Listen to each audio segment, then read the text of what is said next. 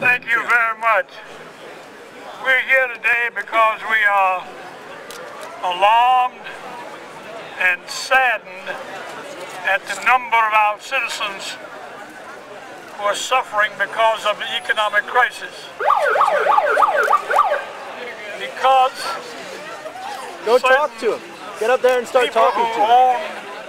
the power of this country are not sensitive to the needs of the poor and the least of these. It's interesting to remember that at the beginning of this crisis, we all came to the aid of the banks and the banking community because they were hurting.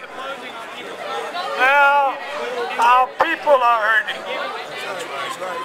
Thousands of our people are losing their homes every day.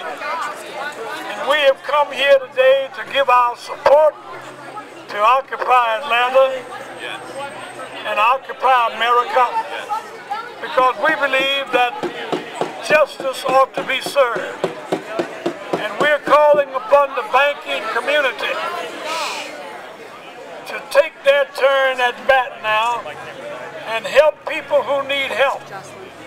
We believe that the banking community ought to declare a moratorium on foreclosures. We don't think for the next six to nine months there ought to be any foreclosures on homes in this country. Let's have a moratorium on foreclosures and mortgages. Let's use that six to nine months to find ways to adjust and to modify the conditions and terms of the mortgages to enable people to pay their mortgage and keep their homes. We want an end to foreclosed mortgages, want an end to evictions, want an end to poverty. And we're calling upon the banks to do their part.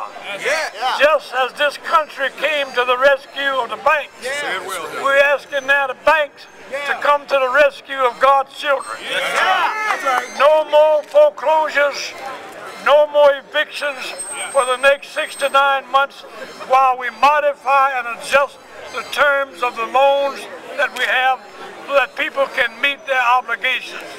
As many as will approve a moratorium of nine to six to nine months on foreclosed mortgages, say amen.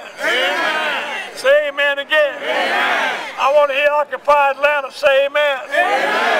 No more foreclosures. No more evictions. No more evictions. For at least six to nine months. To give people an opportunity to meet the conditions of their obligations.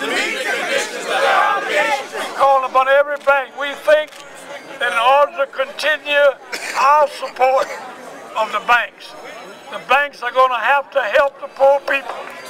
If you don't help the poor people, we're not going to support the banks. That's right. Can I get an amen? Amen. God bless you and God keep you.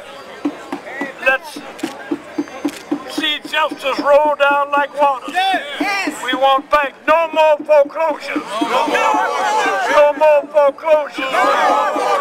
No more evictions. No more foreclosures. No more evictions. The church say amen.